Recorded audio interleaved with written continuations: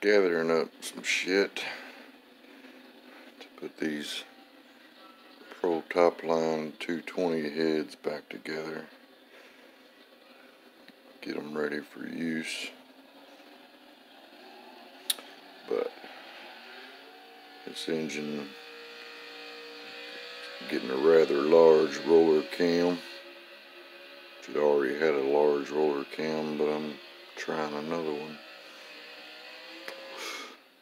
But I got thinking about all the lifter failures and flat tappet cams going flat on people and scaring everybody away from that shit. Everybody wanted to go roller and noticed a lot of people think you just stick a roller cam in there and button it up and you're good to go. But unfortunately, there's a whole lot of other shit that goes with it. You build an engine with a hydraulic roller and it's relatively painless especially if you use a late model block that's already got the provisions for the spider and shit. But you can only go so far with a hydraulic roller. So if you want to spin that fucker up, you know, 8,000 plus RPM, you're going to need a solid roller. Kind of like this unit right here.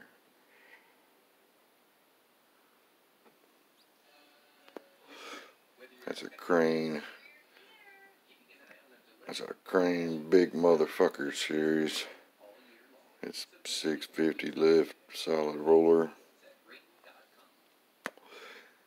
She don't just stick a cam like that in an engine and away you go.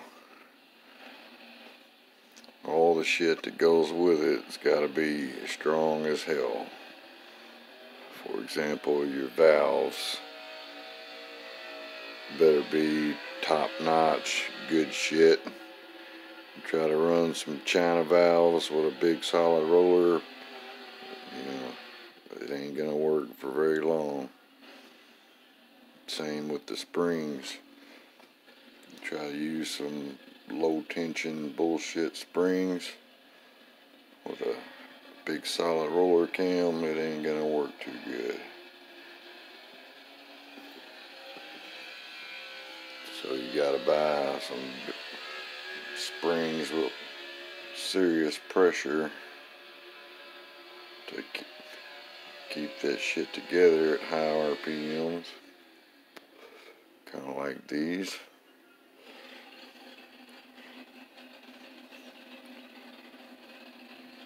PSI springs. Isky titanium retainers and Manton 10 degree locks. And the exhaust valves are Del West. The intake valves are Manley. And the lifters I'm using are the horizontal bar pop-up style crane. Shit's going in these Pro Top Line 220 heads I've had forever. I've been sitting around collecting dust. But, um, put this engine back together. It blew a head gasket on me years ago, so I gotta, I'm gonna take about 12 thousandths off the decks of these fuckers. And put them back together with this shit. Short block back together and there's the induction system. But it'll make some power. But that much valve spring pressure these fuckers are like 275 closed at 2 inch installed height and over 700 open. That much valve spring pressure, if you try to run them in some heads with shitty seats, they'll beat the fucking seats right out of them heads. So even the heads you put them in got to be stout enough to withstand the pressure they're going to be under. So you got to make sure all your shit is strong as hell. Same goes with the timing chain. I'm using a Rollmaster double roller timing chain. They're kind of fucking pricey, but they're good. But all this shit, this engine should produce over 600 horse, no problem. NA. But that's what it takes to run a big old fat ass solid roller in your shit. If you want to turn it up, make some big power with a old school NA small block. Shit's been done for years. Ain't nothing new.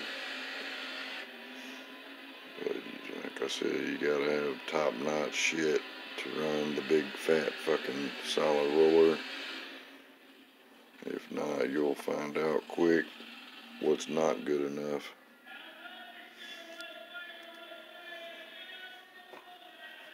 Titanium retainers set you back but they're so fucking light and strong. Money well spent.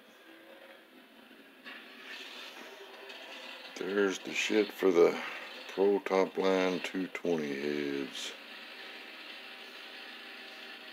There you go.